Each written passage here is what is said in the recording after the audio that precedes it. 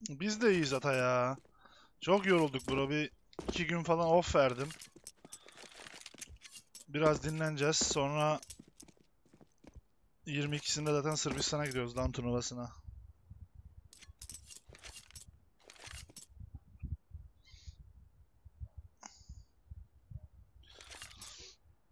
Neden geçenki maçta 15-10 bitiremedik Anubis'te? Ya o maç şey ya bizim hatırlar mısınız Malta'dayken oynadığımız bir tane Nine maçı vardı. Çok uzayan. Bir türlü bitiremediğimiz. O maç 1 bu 2 satış olarak. Yani büyük sattık ya maçı.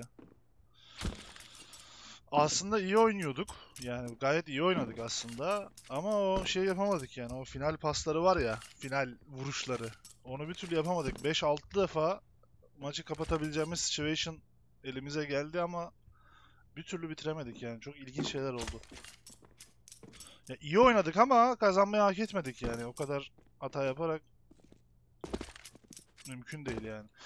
Oyun sistemimiz, planımız falan çok iyiydi. Ben bazı yorumlar gördüm böyle. Çok saçmaydı hiç. Ciddiye bile almadım.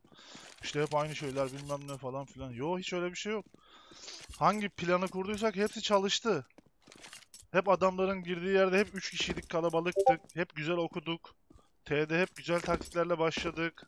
Eksik olan taraflara girdik daha çok. Ama clutch situation'larımız çok kötüydü yani.